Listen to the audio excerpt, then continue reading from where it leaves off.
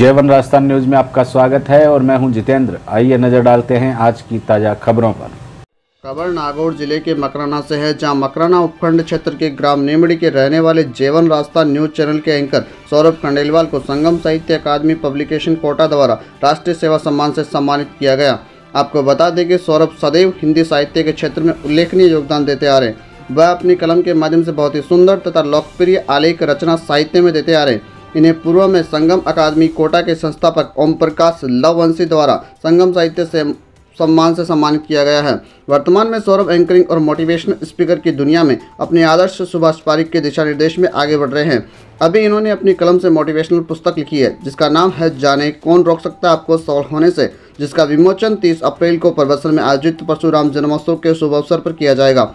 इस पुस्तक का शहरी उन्होंने माता पिता परिवारजनों के साथ साथ साथी अध्यापक बोजाज शर्मा व पुष्पेंद्र आर्य को दिया है। वहीं सौरभ कर्णिलवाल की इस उपलब्धि पर उनके मिलने वालों सहित जयवन राजस्थान न्यूज़ के प्रधान संपादक जितेंद्र सेन व सह संपादक मनोज गंगवाल ने भी उन्हें शुभकामनाएँ प्रेषित की है।